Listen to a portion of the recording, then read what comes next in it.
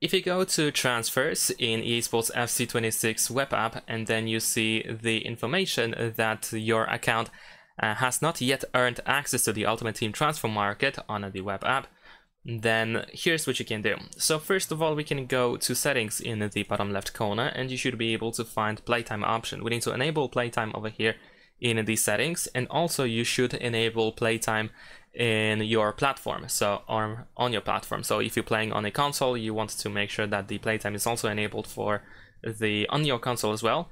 And if you're playing on pc then for example in the e app you should be able to enable the playtime over there as well in addition to that, our account has to be active, and an active day is considered when you have played three full matches in Ultimate Team and logged into the web app within a calendar day.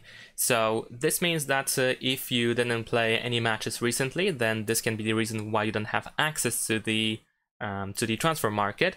You can try to play it on the previous game. So for example, if you are uh, watching this video before the early access of EA Sports FC26, then you can try to play the game of uh, FC25 and play three full matches in Ultimate Team over there and then see if that helps.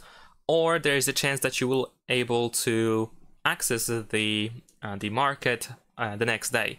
So I don't, I cannot really guarantee if it's gonna work immediately on the same day or perhaps in the next day.